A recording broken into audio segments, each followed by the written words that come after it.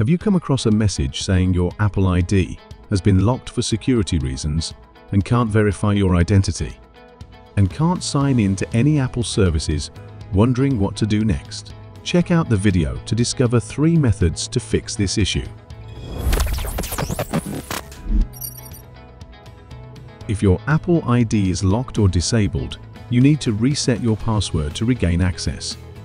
Method 1 Fix Apple ID Locked for security reasons via Apple iForgot.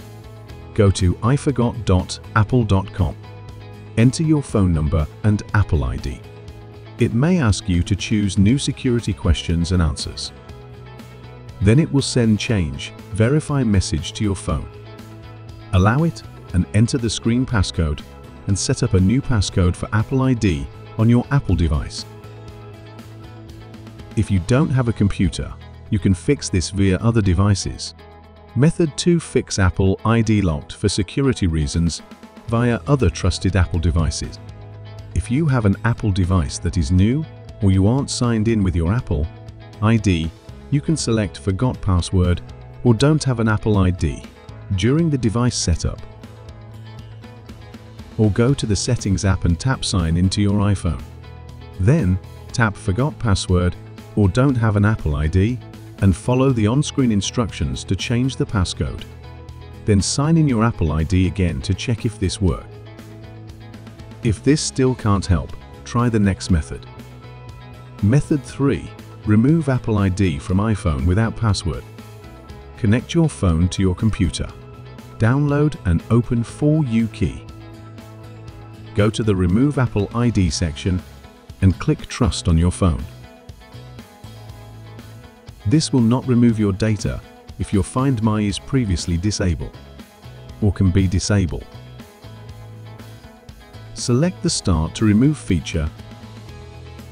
During the removal process, your iPhone will be restarted, but don't worry your data is saved. In just a few seconds, your Apple ID will be removed. Apple ID locked for security reasons is fixed, and you can sign in to a new iCloud account on your device. And your data will be all saved, likes pics or videos. I will leave the free 4UKey link below for you guys to try it out. If you remove the Apple ID when your phone was enabled, Find My, your phone will be erased and go to Activation Lock. If you have the passcode, enter your Apple ID and password to bypass it. You can restore your data after reset. If not, don't worry. If you are using iPhone X or earlier, you can use Tenorshare 4MeKey to bypass it. Check out the link in the description. That's all for today. Hope it can help and thanks for watching. Don't forget to subscribe to stay updated with our latest content. If you have any questions or suggestions, feel free to leave them in the comments below. See you next time. Bye.